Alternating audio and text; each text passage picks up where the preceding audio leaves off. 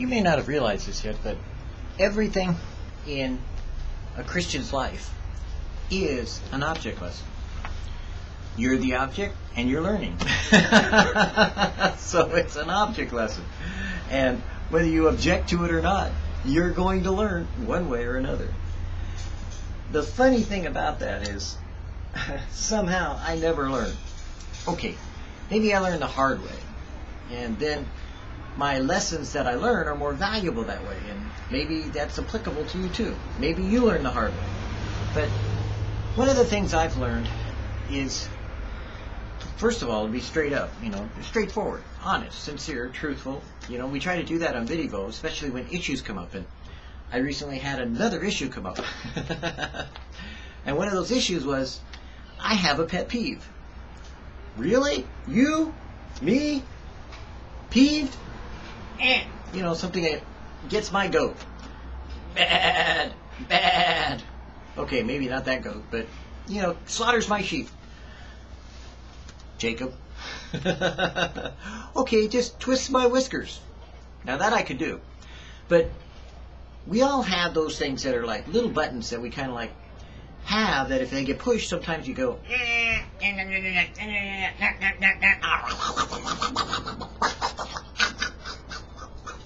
And you bark, and you bite, and you sniffle, and you snuffle, and you do all these kinds of things, you know, to exercise your freedom of speech, of course, but your also great inane ability to look like an idiot. And we all have that. You didn't know you were born with this capacity, but you have the capacity to look stupid anytime, anywhere, any place, and you can exercise it any way you want to. And as a matter of fact, most people do it all the time. They look pretty stupid with some of the things they do. Well, maybe not from your perspective, and maybe not from mine. After all, I'm pretty smart. But you know, from God's perspective, it looks pretty stupid. Well, I had one of those experiences where I look pretty stupid and I even feel stupid about it. But there's a very, at one time, very popular site that's called the Bible Prophecy, Bible Prophecy Today, I think it used to be called, and then they changed it to Bible Prophecy Blog, and that's what it is today, is Bible Prophecy Blog. And I've been posting on the web for a long time, and I came across this Bible prophecy blog site that was a lot like the old chat rooms if you're digitally inclined. If not, it's kind of like having texting before there was texting and before it was on cell phones. Some of us old techies were texting before the new youngies were doing it the way they're doing it today, which is like everywhere they go. At least we confined ours to the bedroom or wherever we had our office or our computer. And so we texted inside of chat rooms, and we would just, you know, we'd fly back and forth. Matter of fact, it was faster than Twitter in a lot of ways. And you could carry on multiple conversations all at the same time, you know, with bunches of different people all going all at the same time, blasting away. And AOL used to have it, and, you know, I'm going to date myself, Usenet, and all kinds of things used to have chat rooms. And some of us old techies, we know how to do that. So when texting came along, we're like, really? You call that something? That ain't new. okay. But and we didn't have limited characters for texting either. We didn't have to use our thumbs. Matter of fact, we had keyboards. So we could really text faster. We're about 10 times faster than most people texting the way they do it nowadays. And we still had our own abbreviations also back then. But my point is, when I was back in those days on the web and doing, yeah, kind of, I wasn't really in charge of a ministry. I was kind of like viewing ministry and participating in others' ministry. I hadn't really started my own yet. There was a guy that was just starting his site, and it was Bible Prophecy Blog, and he used to have comments, and he took them out eventually. Then he had, for a while, he had even the ability to post video comments, and that was the earliest, probably first episode of ever God inspiring the direction that would eventually become VidDevo, the ministry that I have from the Lord that I share, you know, really His ministry with you about what He's doing through me in order to talk to you so that He can get out His word that He wants to speak to you, not because it's mine, but because it's His, and He wants to get something out there that most people wouldn't even try to do because it's kind of like, hey, you talk about God, talking God, God talks? Really? Where do you go from? But the point is, when God needed a donkey or a mule, He came to me and said, look, fool. and I said, okay, I'll do it. And so somebody's got to be responsible. So in some ways, when we say my ministry, that's what we mean. I'm technically responsible. God's in charge. God gets the glory. I get the problems hmm. and the discredit. So before there was video, I had recorded, and he asked me to. The the guy that started, I can't remember his name, but he started the site, and he he wanted to have commentary. So I was commenting, and I was you know, pretty biblically knowledgeable. So I'd comment, you know, and I kind of built a little following, I guess you'd say. You know, in those days, I guess it's a following. Likes, friends, whatever you want to call them in Facebook nowadays.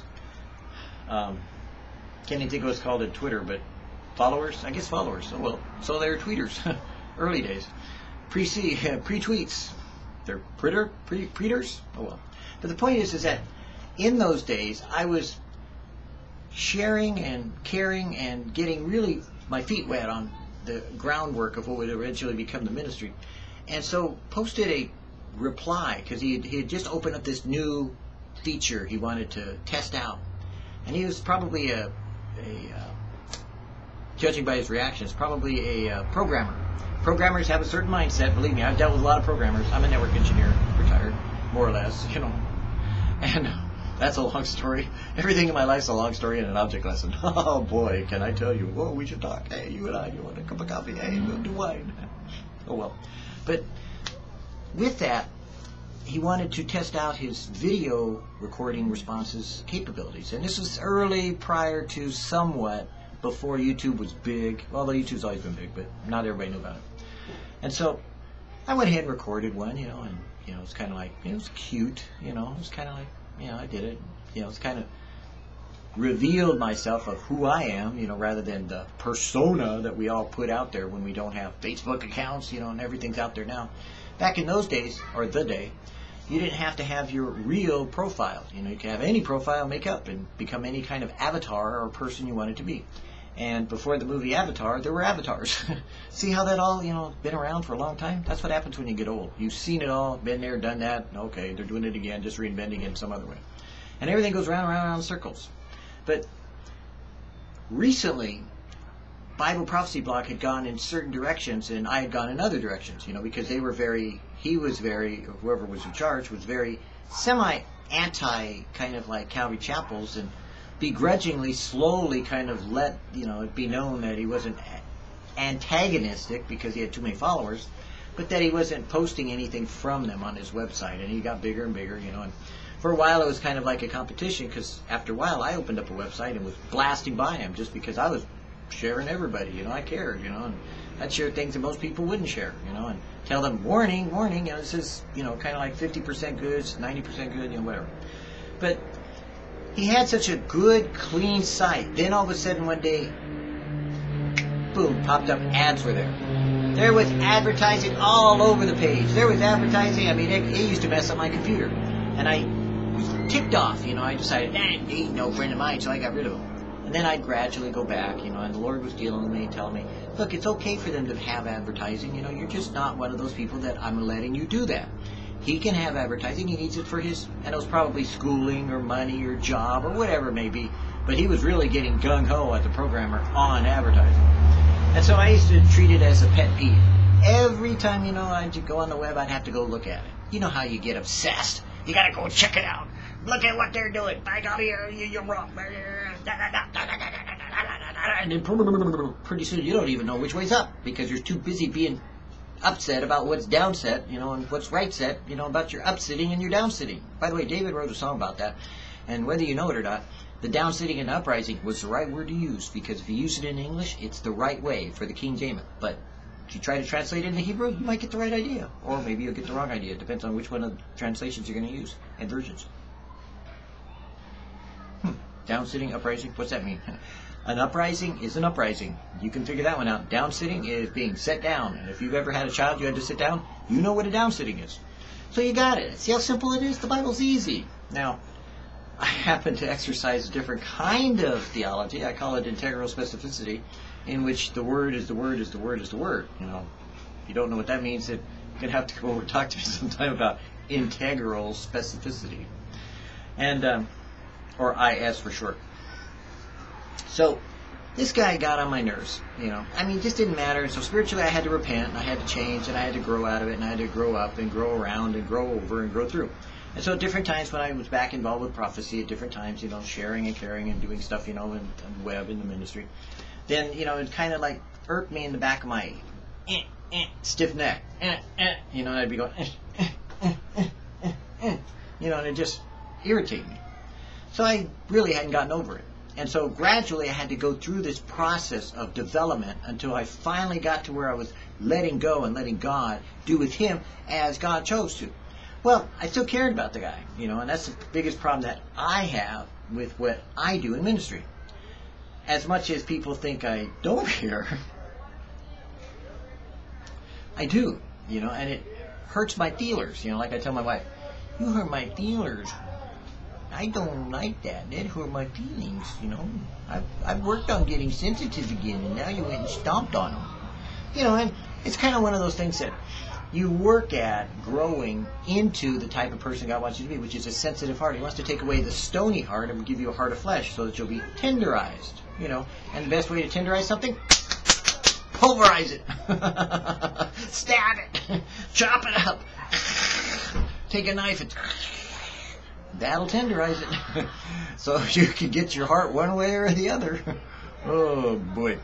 But for me, I had to learn to release Bible Prophecy blog to its fulfillment of what it wanted to do. So just this last, oh, I don't know, about 60 days ago, I started watching it again, you know, and noticed that it was kind of like, you know, fading out. It was just doing some church things, you know, just churchish. And uh, that's good, you know, praise the Lord. I kind of went, yeah, but what a shame. They had such a wide variety of blog material and you Bible material and scriptures and things on the side of the blog. And then sometimes we post one or two articles, if that, that were really good. You know, and the rest was just kind of churchish, you know. You know what it's like, you know, you can get a you know, church magazine and see the same thing. But my point being is that for the last 30 days they were silent, disappeared. I got worried. The longest they'd been gone before was two weeks, you know, and this is like most of the prophecy sites that I'd seen around had pretty much shut down except for some of the wacko ones. And they were pretty much backing off and not putting out much material. I guess they got burned out or burned up after the big Obama thing, you know, where they kept trying to make Obama the, the Antichrist. right. Jeez. And they kind of like blew that one out of proportion. Or that people were beginning to not follow all these wild ideas that people were throwing out there from the prophecy seminars and and and uh, conventions because they were looking them up on the Bible and going, nah, I don't think so. You know, I get excited about what you're saying, but yeah, I don't think you're right on that. You know, and they were becoming wiser than stupid. And so, a lot of Bible pages have filtered down. Some of the old Bible scholars have died. Imagine that. And even David Wilkerson's passed away, and he went on to be with the Lord. But the point being is that this site had pretty much ended. So I kind of went, well, you know, we should revive it, you know. So I prayed about it and didn't really get a firm answer one way or the other. Kind of got a strong feeling from God that I should do something. I didn't know what for sure, so I went ahead and started it, you know. And so I started building this site, you know, to restore the old by rebuilding the former places, the waste places, and making them into, you know, what God wanted them to be. And so taking a page out of the scripture, I applied it to my living situations and circumstances. So I spent about 24 hours, last 24 hours, building this site that was really pretty good site. Mm, not bad. Didn't feel comfortable with it. One or two things about it, but you know, I liked it. You know, it was like it was called Biblical Prophecy Network Blog. I just added the biblical in front of Bible prophecy and put network in between blog and prophecy so that way it wasn't completely like their site, but I put a disclaimer underneath it and said, hey, you know, this is in honor of them and wanted to build upon what they were doing. And I kind of, I kind of knew that if I did this one thing, you know, that it was going to upset the apple cart. But I wanted to make sure that I was doing the right thing, so I kind of provoked in a way, you know, kind of like, you know, poke, poke the bear. I put on the site that I had just finished building and making, you know, really nice. You know, it's getting better and better each day and I put one of Rick Warren's posts, which you know I can mention President Obama, and most Christians go off the deep end and lose their cookies, you know, and forget that they're you know God can God's still in control, you know, but most Christians lose it. Well, I mentioned Rick Warren because a lot of people lose their cookies. There's another one lose their cookies over. So I posted it. Sure enough, the same day, bam, the owner of Bible Prophecy blog pops up, you know, out of nowhere and posted something on his blog. So I knew the blog was no longer shut down. And I went, oh boy. So immediately I stopped what I was doing, went back into everything that I'd done on Facebook, everything I'd done with the blog, and changed it to Biblical Prophecy Network which you know that's fine. And it's not like theirs. you know, it's not like that. You know, some of the things are similar, but they've expanded because you know, taking out Chuck Smith and all that stuff that they had done before, so avoiding Calvary chapels like the plague, and you know, even Missler they would begrudgingly add once in a while. You know, because they were kind of like East Coast thingy, and I haven't figured that out yet. You know, but anyways, my point is, is that I needed to let go of my own flesh and not be so worried about what they are doing, but what God is doing. And that's usually what happens when we get into our flesh. We forget what God is doing for what we're doing. We do something instead of working with God, we work alongside God. And sometimes that's not a good place to be. You see, Jesus is seated at the right hand of the Father. And if you're going to come alongside God, you're going to be not doing something, you're going to be employed in enjoying something, meaning that you're there in the presence of God, you don't do work. Think about that. So, I recognized quickly that this was wrong, but the site was right. So I finally figured out what the Lord wanted me to do, and that's why this long story short about this video that we're recording for Bible Prophecy Blog, that's how we did it. You know, is that that's how it came about. who knows? Maybe the guy in charge of Bible Prophecy Blog, you know, will come out and you know open up communication or something. I don't know, but that's you know never was intentional to take away from his site because you know he's got his own little thing going. You know, it's his own little blog. You know, and it's got ads and gimmicks and you know limericks and you know selling junk. I mean, boy, do they sell junk. And the one thing that is so antipathis of me and that type of ministry is that I don't. You know, I don't sell anything. You want something, I'll buy it. You know, you want something, I'll give it to you. You know, if I got it, I'll give it to you. Period. You know, you ask for it, I'll go get it. You know, try to. And that's the type of ministry I've done from the beginning, you know, is that there's never been a charge. It's freely received, freely given. So I should have realized that the Lord did not want to put old wine into new wineskins lest they burst, but rather wanted the new structure to have the newness of what He's doing to expand beyond what the old kind of format was and style in the way that they were doing it with all the ads and gimmicks and stuff. And it was really hard to try to make the site because all the ads kept getting away. I kept trying to get rid of them, and it kept, you know, it's hard to get rid of. So, praise the Lord, I, I began to realize that even old men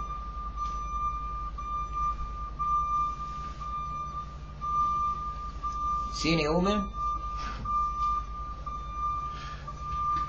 Can learn new tricks. and the old dog doesn't have to have a bone and we don't have to pick a bone, you know, in order to, you know, have something to argue about. Because the reality is, when you are big enough and you let go, you know, like this tiny ministry that I am, at one point in time, I mean, I remember the Lord, I was just starting off in Video, and I was checking numbers because I said, you know, Lord, I, I want to be like David. You know, I don't want to number the children of Israel, and, you know, I know that they you know, kivets, kvetched their numbers a little bit when they didn't count the Levites, you know, and they didn't really have a complete accurate number, but, you know, they still were doing what you said don't do. It. Don't count the, the children of Israel, and don't count the horses. Don't ask me what horses have to do with it. I don't know. There's a message there somewhere, and I probably have heard it before. But, hey, God gave me, at the time, the ability to see one part of the ministry that I was doing, and it had hidden, it had hidden it had over 500,000 hits that month. Let's see, 50,000 times 10. So yeah, it was it was way up there. Know, and uh, I was humbled. I never looked again. Okay, I looked a little bit, but I didn't look at that one. I look at something else just to see if it's getting a little bit of activity. But I don't keep track of each page and you know how many people wear what and all that because I think that's wrong. You're not doing it. It helps sometimes to have some numbers to go by, but you don't want to keep track of numbers, even though all pastors do in some ways, and they'll they'll teach even if nobody's there. But believe me, every pastor has a little bit of kind of like inside. You know, you got to have a little bit of number. You know, hmm. might be it's nice to get paid you know once in a while. I'm kidding, not me. I don't get paid. But you know, it was kind of interesting that the numbers were there, and God had blessed it. So from that moment on, I said, okay, I don't care if we do it for one. And that's the gist of what this ministry is. That even if we do it just for the one, we do it in the name of the Son. And so it's never been that I wanted to have you know mega church or mega ministry, but I wanted the ministry to be full of the love of God and the love of Jesus so that people would see that with which they want to have more than what the ministries are doing about building ministries on top of what others ministries are. And you know, I personally try to include biblically as many ministries as I can that, you know, I can at least for the most part agree with, you know, and some ministries I really I just can't go there, you know. Um, I tried, you know, I pray and God says no, and I go, okay, and I'm happy. but with this ministry, the Biblical Prophecy Network will always be about, and we'll still have some questionable, you know, sites that we have to include, you know, but will always be about the network of biblical prophecy. You know, those articles that may be right. The site may be wrong, but the article may be right. Or there may be things in the article that are good for you to learn and to develop and to become a a person knowledgeable that what we're looking forward to isn't the Antichrist, the end of the world, Armageddon, you know, the rapture, but we're looking to Jesus. And that's the purpose of prophecy is the revelation or the unveiling or the make aware with your eyes being wide open to see Jesus. Because if we could just see him as he is now, looking up into the heavens and see him seated at right hand of the Father, our world would be different today. At least mine would. Oh, wait a minute, I have seen Okay, never mind. Well, anyways, your world will be different. Don't quote me. Okay, quote me. But my point being is that there will always be those that want to hype you. There will always be those that want to hook you. There'll always be those that want to tickle your ear. There'll always be those that want to draw you into listen to what I got to say in prophecy. And the fact is, any educated idiot can do prophecy because God can speak to a donkey and he can speak to you and me. And so, pardon me, we don't need another way of presenting the gospel. We don't need another way of presenting prophecy. We don't need some new book or some new idea about Psalm 83 or some other weird kind of message that people are creating nowadays in the latter days. What we need to do is to see Jesus in it. Because if you don't see Jesus in it, then don't be of it. That's the bottom line. If prophecy isn't leading you to an, an emotional, intense realization and tenderness towards Jesus himself, then you're missing the boat of what the Holy Spirit is doing and you're being led by the wrong spirit, so to speak. Because the spirit of Antichrist is out there. It's meant to distract you, to attract you, and to turn you away from the things of God in a way that would be incrementally turning you in subtle ways, like violence or you know, getting into carnality or, or spirituality of a type that isn't biblical. And so be aware of that, you know, that you are the object of a lesson being learned throughout eternity, that you're your own object lesson, as well as you are the lesson that God is using to objectify His grace and mercy to the entire world, so that the world may know that you are his disciples, in that you have love for one another. And why I share this was because I do love my brother, you know, that has the biblical prophet or has Bible prophecy blog. Well, I love him. He frustrates me, you know, and aggravates me at times, you know, because I just don't do money. And I don't do, you know, like carnality. You know, I'm like, hey, you know, go be carnal somewhere else. You know, I, that's flesh. You know, I don't have time for flesh. I want to go do spiritual. You know, let's get together and all enjoy the fellowship of, you know, his suffering and suffer together and die. No, but enjoy the fellowship of the joy of the Lord that God has given to us what little time is remaining, you know, that we can employ that fellowship one with another so that we can inspire others to do better than we do, even more so to the knowledge of Jesus Christ, that they could know more about Him than we even know. And maybe they'll tell us about it too. So you see, it's never been about me. I wish it were, you know, because then I could, you know, kind of like duck out and head for the hills. But it is about Him. And so because it's about Him, He talks to me. And because He talks to me, then it seems to be about you.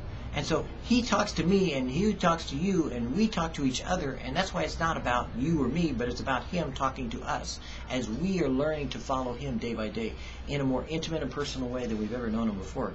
And so with Biblical Prophecy Network, I got a lot of blogs. That's what it will always be about the intimacy of Jesus and the realization of Him in these latter days we live in. I hope you don't be deceived. And I hope you don't get caught away or caught up in the things today that can mislead you or misdirect you. But rather, even as we all have, you know, provocable areas, we would just let go and let God deal with those things. And then we move on with what God has told us to do even as God has told my brother in Bible Prophecy Blog what he wants him to do. And I pray that he continues to do it according to the grace and mercy that God has given him so that he and I could sit down in the kingdom, you know, and share a campfire, you know, and talk about how carnal I was in this life at times. So, God bless you. I pray that you'll enjoy Biblical Prophecy Network and I pray that you'll employ the tools that are available at Bible Prophecy Blog, as well as the entire wealth of information that there is on the network, on the web, in your church, with your pastor, with your study group, and with all those informational systems that you use, whether iPad, you know, and all the different droids and everything else. Use them. Don't abuse them, but don't get confused for what they are. They're just tools to know Jesus. And that's the most important thing there is.